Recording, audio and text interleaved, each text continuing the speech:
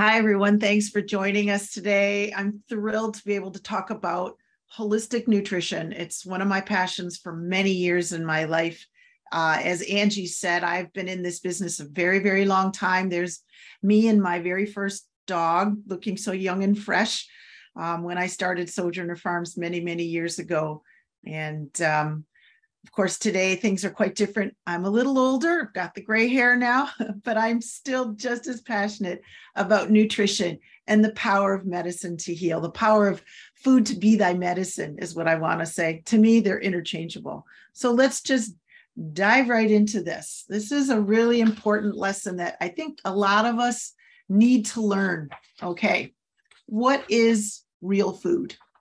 So, most sensible people would agree that eating minimally processed foods is the healthier option over foods that are overly cooked and overly heavily adulterated, right? So chicken meal is a great example of this because in the pet food industry, it is used an awful lot. It is not just dehydrated chicken.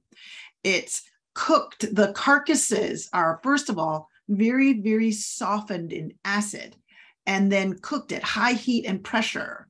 And what's left is there's no life in it there's certainly no energy in it and certainly no nutrition in it. So it's very different from real chicken meat. Chicken nuggets are not the same. Um, a lot of people, you know, they're they're convenient, they're easy, they're tasty. I'm not going to lie, but they're not as healthy. So we know this, right? But this doesn't keep us from eating stuff that isn't so good for us and feeding it to our animals. So today, what we're going to focus on is how can a healthy diet be our medicine? What is the science behind it? And I'm going to take you through a little bit of chemistry today, a little bit of biochemistry. Bear with me, it's not difficult. Okay. It's very important though. So let's admit, for some reason in North America, we still tend to think that no matter where we get our vitamins and minerals, they're all the same. If you take a nutritional supplement or if you eat um, food with a vitamin premix in it, and just about every breakfast cereal has that. Vitamins are vitamins. Not true. We're going to talk about that today a lot. Synthetic vitamins, most vitamins found in processed food, are actually made in a lab. They don't come from nature. Um, and they have to add these supplements to most processed foods in order to meet nutrition standards, minimum nutrition standards. Um, we're going to take a little bit closer look at that later too. It's no different for people food, like I said. Um, most folks, when I was in practice as a practitioner, I would have to beg people to lay off the multivitamin and eat a good breakfast instead. That's how you get your nutrition.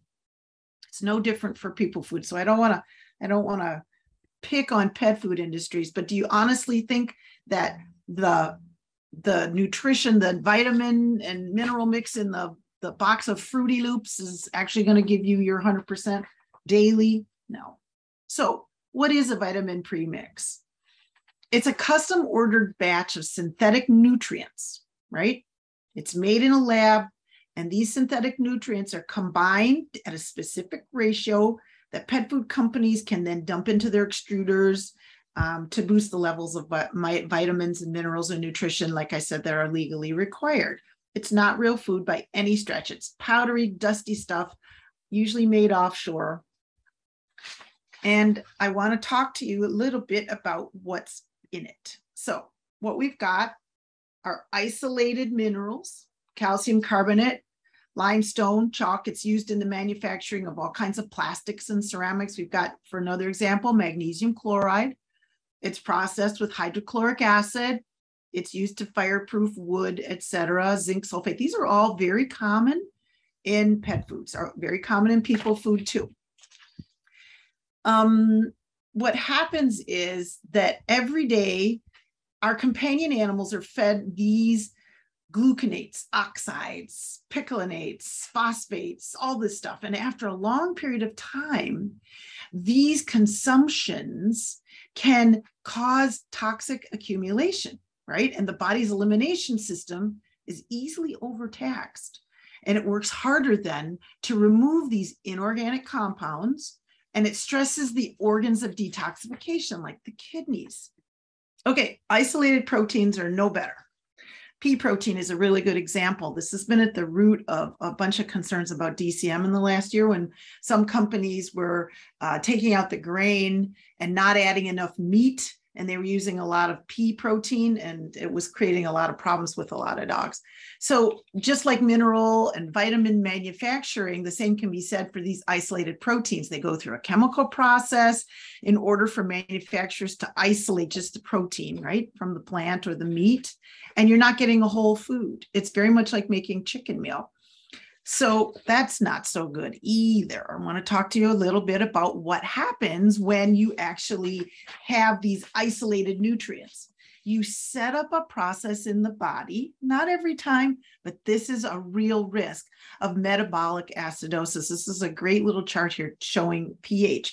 I'm not going to get into the, all the chemistry about pH, but metabolic acidosis it's it's total metabolic uh, acidosis. Actually it's a shutdown. It wastes your muscle and your bone tissues. It creates cellular congestion um, and increased vulnerability to degenerative diseases. That's what cancer is. That's what autoimmune diseases are. It's common knowledge now um, that i know this is a little aside but cancer cells can't survive in an alkaline environment they just die, but they do thrive in an acidic environment. So, what I'm saying is, these overprocessed protein isolates are creating that dreaded over acidic environment that is so bad for your body. And in addition to the body having a harder time assimilating these isolated proteins, they are extracted by they the when they are extracted they remove the fat and the fiber from these proteins and that it takes out phospholipids. The phospholipid bilayer of the cell is super important to the health of every cell. I could go on and on. I promised you I wouldn't do too much chemistry, but get me talking about chemistry and I get pretty excited. And trust me, the body does not need any more encouragement for metabolic acidosis because we get enough of it from stress and pollution. Metabolic acidosis is a real, real issue. So when you strip all these nutrients out of their natural state and create them in labs or strip them from the meat or the pro, the, the the vegetables. What it's a very inefficient process. And in order for the body to make use of all these synthetic supplements and isolated nutrients it has to find the missing vital components elsewhere in the tissues of the body right? And the body is very good at this but at some point it's very, very tiring for the body to do it, right? So think about it. So the body has to determine which synergistic factors are missing in the adulterated foodstuffs. And then those components have to be obtained from the body's stored supplies elsewhere in the body. And that means that these synthetic nutrients, which in and of themselves are not terrible for the body, they have to be put on hold, usually stored in the fat, until the body can then determine if the missing micronutrients that are needed in order to make that synthetic nutrient work in the body in order to absorb it and metabolize it has to find those missing micronutrients and then convert the synthetic nutrient into a usable form. It's taxing it's inefficient and the body is really good at doing this but it does get tired of it. And what happens is um, it's like the body becomes so tired of it. It's like it's running on a hamster wheel. I love this visual.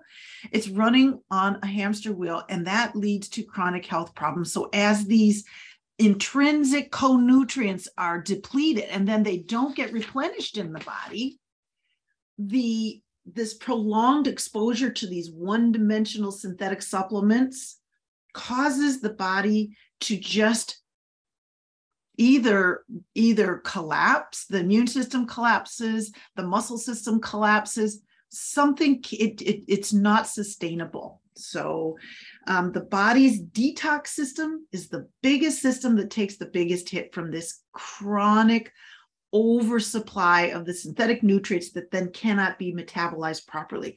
The kidneys the skin we're going to see how this comes out on the skin. But all the body's detox systems get extremely stressed, right? And then illness is inevitable, right? Um, it seems kind of backward, doesn't it? Because food is supposed to actually make you healthier instead of make you sick.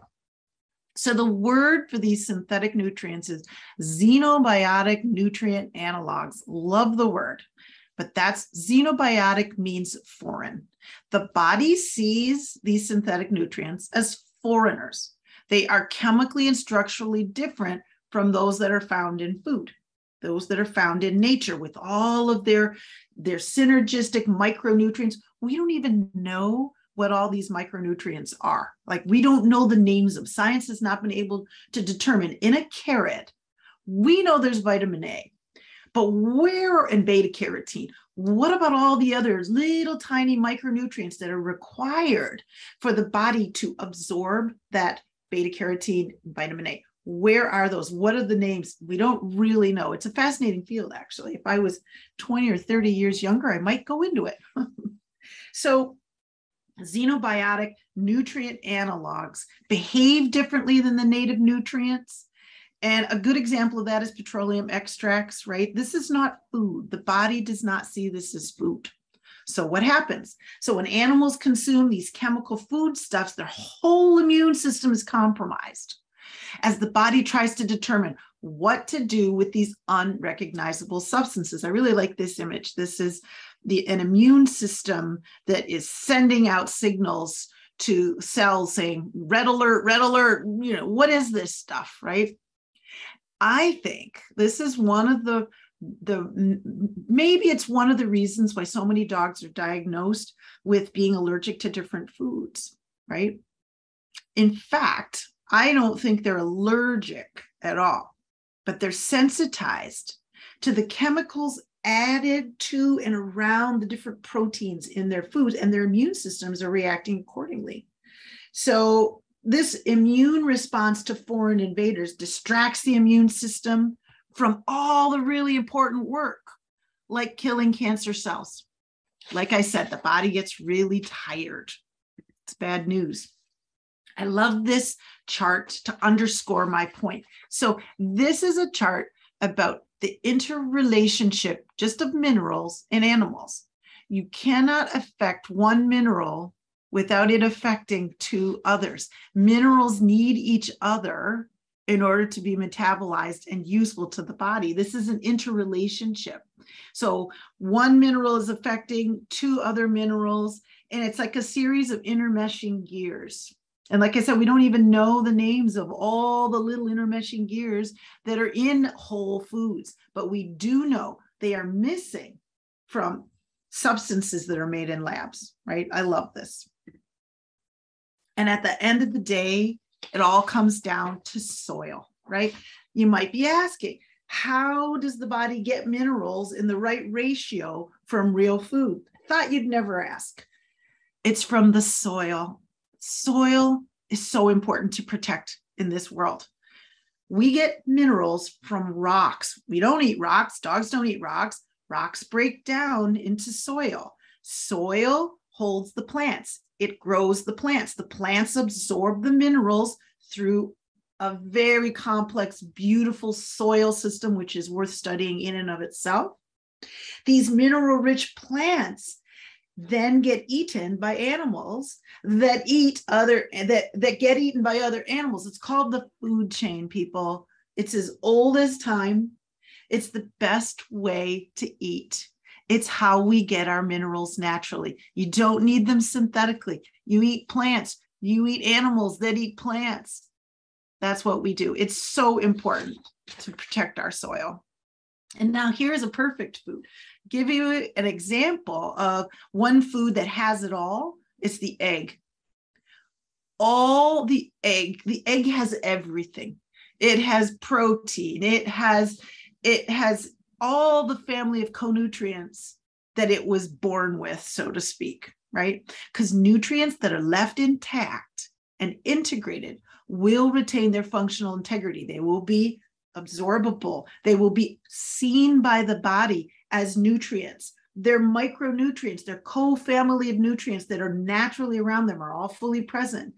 I like to tell my daughter who's trying to put on a little weight that a whole egg, which is about 100 calories, is a is a whole meal.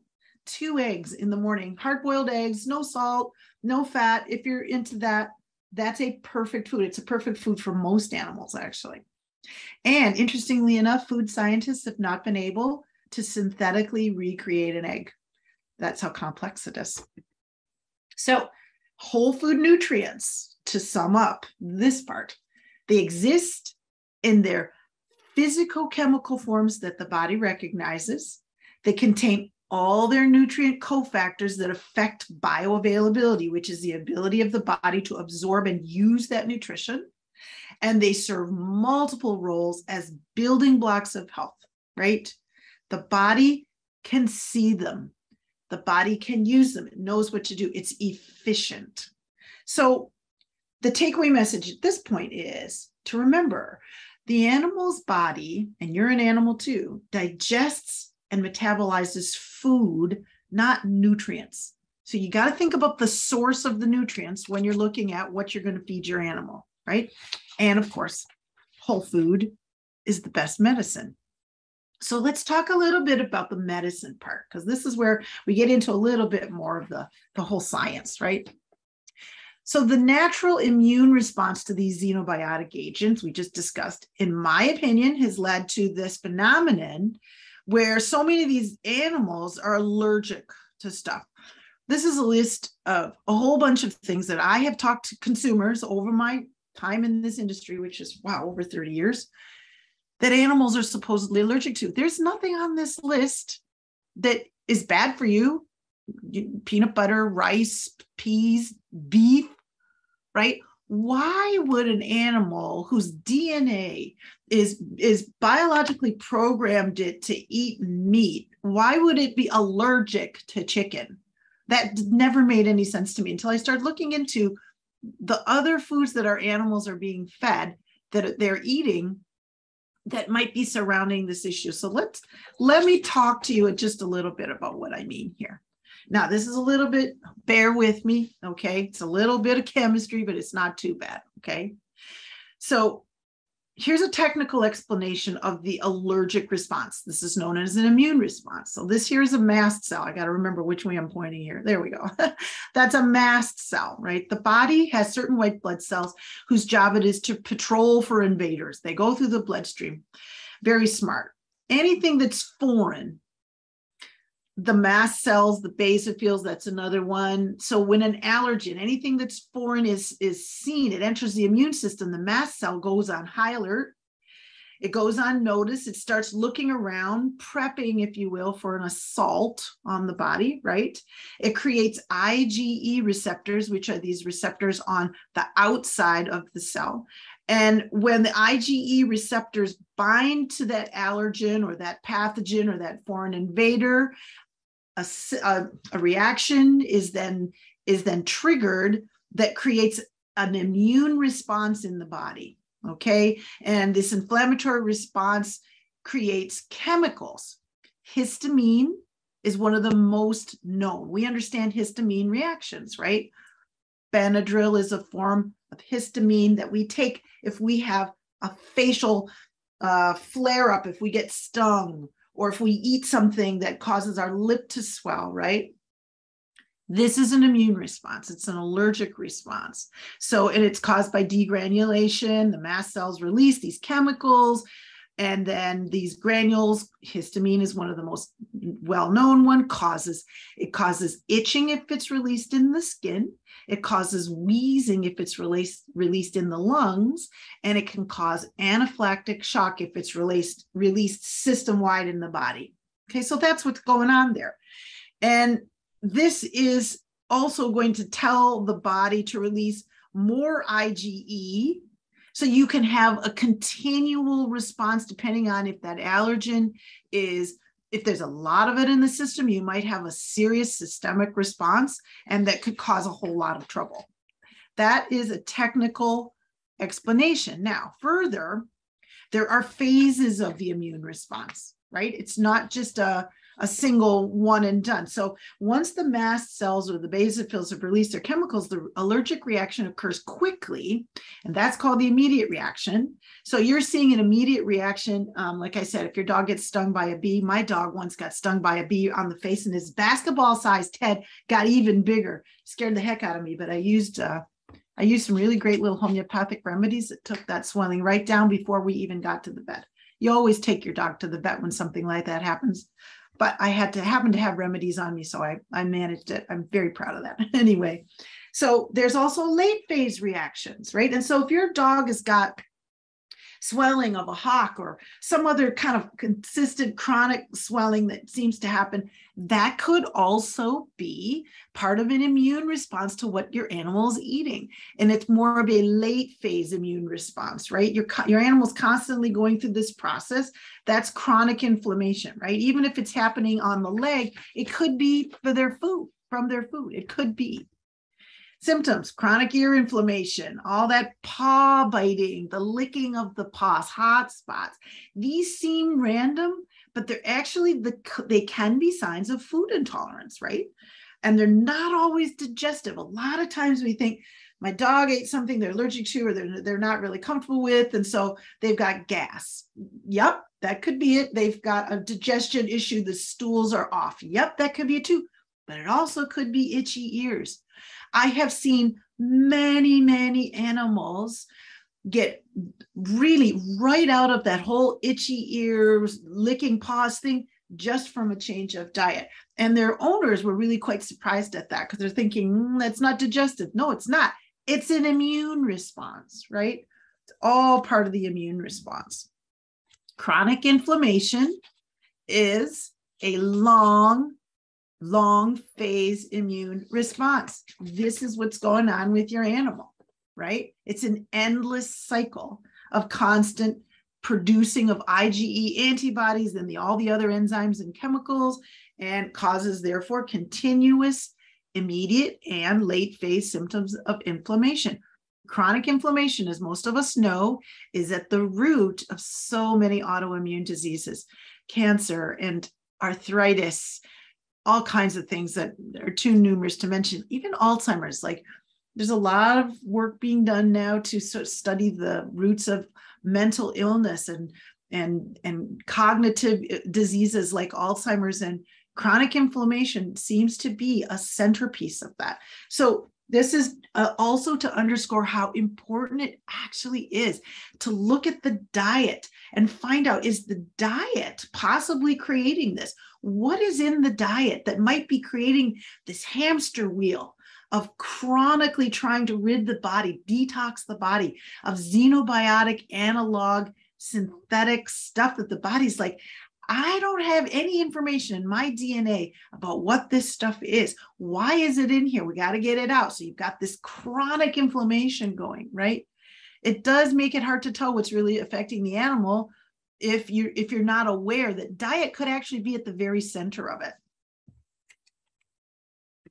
So here's here's a huge, hugely important. This, my friends, is how chronic illness gets a foothold in the body. Hugely important slide. Okay. The destruction of the gut. This is a little microsection of the small intestine. This is where nutrients are absorbed. So, what you're seeing here are the villi, which they're like little sea anemones all along the lining of the small intestine. So, when the food goes from the stomach into the small intestine, it's been very well digested. Now it's really tiny particles. And the villi are absorbing all these nutrients. And when they're healthy, like I said, they're like sea anemones, they look like this. But when they're not healthy, they are stiff or flat. And then you've got destruction of the gut, right? Villus atrophy. Instead of like this, they're like this, and they're stiff and they're tight. This process happens when the lining of the gut has been so bombarded by foods that are deemed foreign. There's constant inflammation here. The villi are tiny, tiny, tiny little creatures there, and they do not survive that very well. They get flat, they get stiff, they're not able to absorb nutrients. What happens when your body's not able to absorb nutrients? You get you get unhealthy. Everything goes to hell in a handbasket, as grandma used to say. You get leaky gut. Leaky gut. I won't, I won't, I'm running out of time, so I'm not going to be able to get too technical about this, but the cells of the small intestine are literally the small intestine lining is one cell thick. So if you've got trouble absorbing the nutrients in your small intestine, you're going to have you're going to have these these villi that are not functioning properly. You're going to actually have big molecules, two big molecules going directly into the bloodstream. That's the long and the short of it. They go through directly into the bloodstream because the spaces in between the cells, these tight junctions are no longer tight. It's like bricks in an old wall. They start to crack and separate. And this is supposed to preserve the integrity of the bloodstream, and it isn't able to do that anymore. So you get these synthetics, you get these pre-digested but not quite fully digested particles going into the system. You get chemicals going directly into the bloodstream. And this is the beginning of autoimmune diseases and all kinds of destruction of the body. Leaky gut is a terrible terrible thing. It happens all over the place. And here even more so one of the the biggest biggest reasons that this causes all these allergic reactions is because 70% of the immune system is in the small intestine 70% of the immune system. So there's this there's this white blood cell. It's called secretory IgA.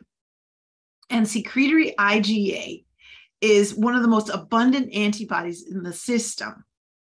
And it kills pathogens that come in contact with mucosal tissue. What is mucosal tissue?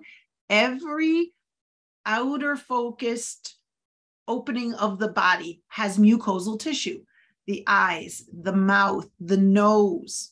Think about it. Anything that the world could get into the body through is lined with mucosal tissue, which is protected by secretory IgA. Secretory IgA is made in the small intestine. If your small intestine or if your dog's small intestine is not working properly, it's not going to be able to make secretory IgA. Your dog is going to get all kinds of urinary infections, digestive problems, breathing problems. You see where this is going? Chronic inflammation looks an awful lot like an allergic reaction, remember? It affects every organ of the body. Reduced immunity is terrible. Frequent infections that become long term. And then you're so far from the idea that it's caused by the diet because now your dog's been diagnosed with all kinds of other stuff that you're thinking, how does this have anything to do with the diet? It has everything to do with the diet, or it could have everything to do with the diet. Everybody's different, every dog is different, but you absolutely have to go back to what is the animal eating in order to wrap up that puzzle and get anywhere. Yep. At this point, when you've got all kinds of organ destruction, you're going to have to start there, try to make the animal feel better, stop the destruction, you know, your vet will have the answers to that. But if you can go back to the diet, trace your steps back, you will then be able to see the power of food to heal the body. It does take time, it's not overnight. So you have to remove the chemicals and the synthetics from the diet right off the top. If my dog is diagnosed with anything, or if I'm diagnosed with anything, first thing I'm going to think of is okay, whole foods fresh table grade meats, fresh or table grades. We can't all feed fresh meat. I'm going to acknowledge that right there. It's expensive. It's it take different set of rhythms in your household to do it. You don't have to do that. There are products on the market that you can feed that have that quality of meat, but it's just not fresh. No extruded foods. We talked about what happens to them. There's no nutrition in that. After all the high heat, the pressure, the acid, there's nothing in there. There's no life in there. And it's certainly not a whole food. Take out the inedible foodstuffs. Anything that if you can't pronounce it, don't feed it. That's anything synthetic, right? What we're doing to wrap all this up by feeding whole foods, we're cooling down the whole inflammatory system here. We're just cooling it right down. We're simplifying the job of the detox system so that it can now focus on dealing with the chronic problems that have come up. We're cooling things down, calming things down. I love to think of it that way. Take the heat out of it. Healing is possible, folks, by removing the sources of the inflammation before you resign yourself to the idea that your dog is allergic to everything could change your life. It could change your animal's life. And that is the crux of the matter. Let food be thy medicine. Please just give it a try.